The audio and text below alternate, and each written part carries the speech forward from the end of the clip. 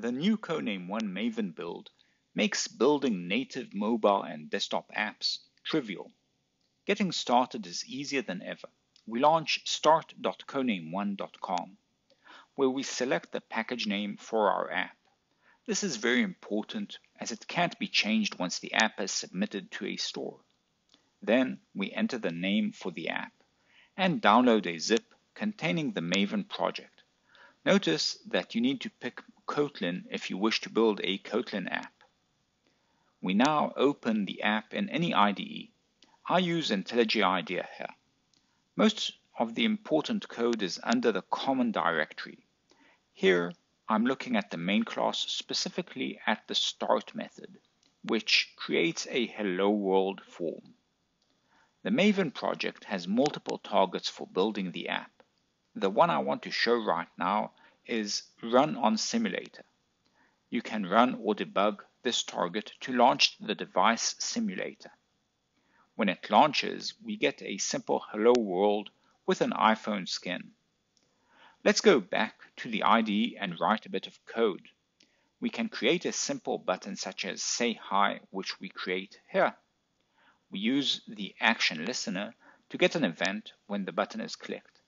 In the event callback, we show a dialog with a simple message. Last but not least, we remove the Hello World label and replace it with the newly created button. Running this again in the simulator shows a dialog when we click the Hi button. But what if we want to change the way our app looks? Simple. We can open the CSS file and add the button selector with the color red as the value. Notice I didn't stop the simulator. Going back to the simulator, it seamlessly refreshes with the update style. No reload necessary. We can also use the standard debugging facilities in the IDEs to debug everything within the simulator. We can stop on breakpoints, step over, inspect variables, stacks, etc. We can even apply code changes without restarting, but that's for another video. To build a native app, we can select the appropriate target, such as Android build, iOS, Mac, Windows, etc. This sends a build to Codename One servers, which have all the tools installed, and let you build iOS apps without a Mac. You can also generate a local build which I'll discuss soon. Notice I'm simplifying a bit since you also need a certificate. You can track the results in three places. The first is the build cloud, from where you can download the resulting file, scan the QR code to install it on the device, copy or email the link. The second way is through Codename One settings, which you can launch via Maven. In the Control Center, we select the Device Builds section in the top left.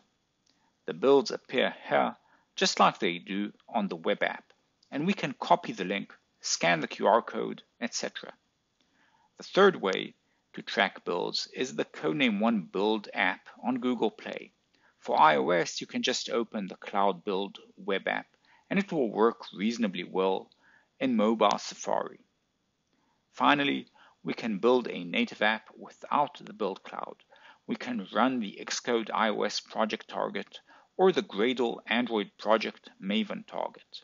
After running the Xcode project, Apple's Xcode environment launches seamlessly with the generated native iOS project, which we can run in the native iOS simulator or on the device.